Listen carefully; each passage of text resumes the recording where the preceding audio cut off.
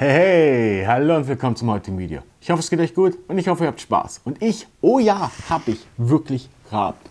Und zwar liegt das an diesem Mustang, äh, Ponycar, Muscle, Muscle Car. Keine Ahnung. Ähm, das wird wohl aus Bullet sein, schätze ich mal. Wenn ich mich richtig erinnere, hat der Steve McQueen dort so eine geile Verfolgungsjagd mit so einem Auto. Kann mich aber auch irren, ihr dürft mich gerne korrigieren. Die Steinequalität es sind Kunlongsteine. Das heißt, wir haben Farbabweichung hier oben, ihr seht es in ein und derselben Klasse, sind mit der gleichen Seriennummer. Ist halt so.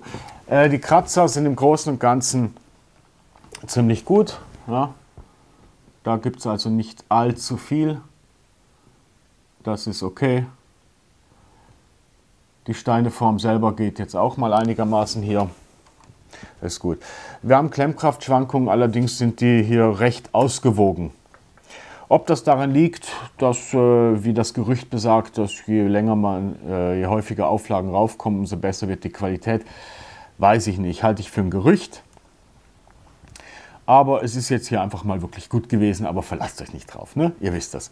Aber bauen lässt sich eigentlich immer und man kann es nachher ins Regal stellen. Gut, gucken wir uns also mal das tolle Teil an als erstes mal die geile Front. Richtig schön getroffen. Richtig schön getroffen. Die geile Haube mit den Einkerbungen hier. Ne? Ziemlich cool. Dann gehen wir nach vorne zum. Sieht man noch schön durch. Es ist nicht das perfekteste Transclear. Ne? Aber man kann schon durchgucken. Und dann machen wir mal die Motorhaube auf. Die wird so gebaut, ziemlich solide, ziemlich dick. Und hier kommt dieser absolute hammergeile Motor. Mann, hat das Spaß gemacht, den zu bauen. Guckt euch die ganzen vielen Details an, die man reinbaut. Auch die Art und Weise, wie man das reinbaut, ist richtig klasse. Das macht richtig Laune. Sieht cool aus, oder? Diesen Motorblock hier in der Mitte zum Beispiel tut man nachher auch zum Schluss draufsetzen, nachdem man alles drumherum gebaut hat. Und dann kommt der Hauptmotorblock da rein. Ist eine recht coole Hochzeit. So, dann kommen wir mal zu der richtig schönen Seite rüber. Beachte die Felgen, man baut da noch Zahnräder drauf, sodass es ein bisschen klassischer aussieht. Das ist doch cool. Die Form geht rüber, auch hier wieder richtig schön gelungen. Und dann dieses schöne Fließheck nach hinten. Kommt doch gut. Kommt doch richtig gut. Und dann die Rückseite. Auch hier wieder, achtet mal auf die Rückleuchten. Richtig schön interessant gebaut. Dann hier unten natürlich doppelausrufbar, leider nicht in Flat Silver. Es gibt Flat Silver Elemente, wie zum Beispiel das da, da oben. Ich weiß gar nicht, ob das in dem Licht zum Glänzen äh, richtig rüberkommt, aber es ist also. Und dann kann man auch den da hier aufmachen. Und da drin ist alles schön gefliest. So, jetzt sieht man es richtig, genau. Alles schön sauber gefliest, geschlossen, wie es sein soll. Dann natürlich noch die Seite hier. Und ihr seht hier, hier ist ein schwarzes. Ich hatte, da ist wohl eine Verwechslung passiert. Entweder mein Fehler, aber ich glaube eher, es ist eine Verwechslung passiert. Da habe ich zu viel schwarze 1x1 Plates gehabt und ich hätte da eine grüne gebraucht. Ja, nu. Ja, nu. So sieht das übrigens schön von oben aus.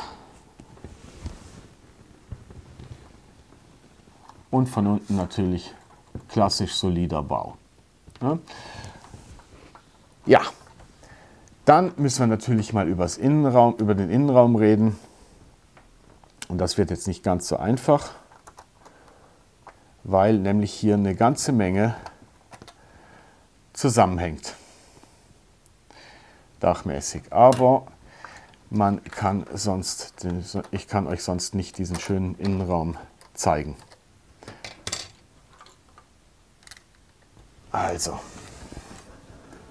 guckt mal da rein.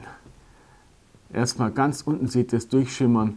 Wir haben neben der klassischen fettgeilen Tür, geil gebaut, haben wir unten Fußpedale. Alles gefliest und Fußpedale. Gas und Bremse ist eine Automatik. Cool. Na, so. Dann haben wir hier die, das Armaturenbrett. Schön mit dem Braun hier vorne. Das gefällt mir sehr gut. Lenkrad, Armaturen und diese grandiosen Sitze. Es ist einfach richtig herrlich, wie man das baut. Ich bin sehr begeistert von dem Wägelchen. Zwei Glassteine hin oder her.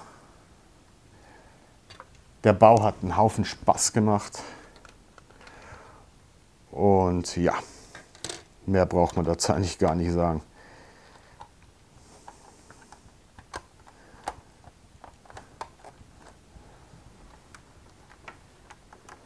So, bisschen vorsichtig hantieren, denn es ist nicht unbedingt die, äh, es ist nicht die, die absolut sicherste Bauweise, wie das Wägelchen zusammengebaut wird. Dazu komme ich gleich. Denn die Nachteile kann man eigentlich überspringen. Ich habe im Design, also in der Optik, habe ich überhaupt nichts zu meckern. Da gibt es da gibt's überhaupt nichts zu maulen. Also ich meine, die ganzen Übergänge, wie man das hier hinkriegt, ja, das ist einfach super Arbeit. Das ist einfach super Arbeit. Da gibt es keine Nachteile. Ach ja, habt ihr gesehen bei der Antenne? Statt der Antenne baut man hier, hat man so einen Schraubenzieher. Kennt ihr vom Werkzeugtool. Also wie gesagt, Nachteile habe ich keine. Man erhält einen Haufen Teile, also einen Haufen Teile. Man hat einige Fliesen und einige Sachen übrig und dann natürlich diesen Werkzeugteil, wo wir halt den Schraubenzieher dafür brauchen. Den Rest kann man ja irgendwie anders verwenden. Aus irgendeinem Grund ist es halt billiger, immer das Ganze komplett gepresst zu machen. Schon etwas Verschwendung, aber was soll's. Zu der Bauanleitung. Ähm, ja. Die, man soll zum Beispiel hier an einer Stelle, dass da da ist so eine äh, Wedge und da eine große Wedge und dann soll man das so da dran machen, an Baurichtungsumkehrer und dann das Zeug draufbauen. Schaut ein bisschen nach vorne, damit ihr das unten befestigt, äh, unten dran macht und dann auf einmal dran befestigt ist besser. Überhaupt sind manche Bausachen ein bisschen knifflig, grenzwertig. Ja? Also es ist nicht so, dass ein erfahrener Bauer oder jemand, der schon zwei, drei Autos gebaut hat und ein bisschen Gefühl entwickelt hat, dass der damit groß Schwierigkeiten hat. Aber es gibt zum Beispiel hier unten ist ein einzelner Stein, der da hier. Ein einmal eins. Den sollt ihr an einer Stelle da hinlegen und dann ist er noch gar nicht befestigt, weil es unten ist, ist eine Fliese. Das wird erst später befestigt. Und das ist dann natürlich knifflig, dass man das Zeug beieinander hält, während man woanders noch baut, bis man wieder dahin kommt. Da, da, da, muss man schon aufpassen. Es ist auch nicht unbedingt für kleine Autos, äh, für kleine Hände gemacht. Ja? Das muss man auch sagen. Ähm, daher es ist es ein Erwachsenenmodell. Und zwar nicht nur, weil wir Alten was damit anfangen können, sondern weil einfach von der Bautechnik her, also ich sag mal 10 aufwärts und äh, schon zwei, drei Sachen gebaut haben, vor allem Autos, wäre schon hilfreich. Vor allem, wenn es kein Lego war, sondern eher etwas Anspruchsvolleres. Okay? Aber mir hat das wirklich Spaß gemacht. Ja? Zwischendrin mag ich es, wenn ich leicht gefordert werde und das war hier der Fall. Ich bin nie überfordert gewesen, einfach an manchen Stellen leicht gefordert aber es war ein abwechslungsreicher, spaßiger Bau. Finde ich super. Bevor wir jetzt zum Fazit überkommen, habe ich noch eine Box dabei. Denn, ihr wisst es vielleicht oder eben auch nicht oder erst jetzt, Bluebricks hat günstige Displayboxen im Angebot, genau für die Größe. Die kosten 9 Euro, was ein absoluter Kampfpreis ist. Jetzt bin ich mal gespannt, ob es das wert ist oder auch nicht. Ich rechne ja mit ziemlich dünnem Acryl, aber das ist, und dass ich es nicht in die Sonne stellen kann.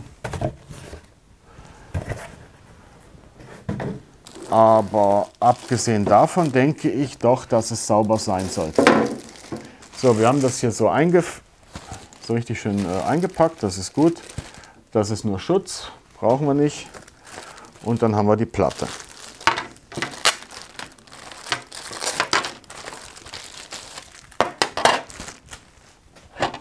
Also, es geht. Solide genug, würde ich sagen. Schön sauber, schön ordentlich. Cool. Gucken wir mal, ob das Auto auch reinpasst. Wie sie das so angeben. So, jetzt mal an den Ecken anfassen. Da macht's Klick. Ja, Okay, ihr seht, Nachteil, der, da hätte eine Noppenaufnahme drunter gehört, dass man was machen kann, dass es befestigt ist. Aber abgesehen davon,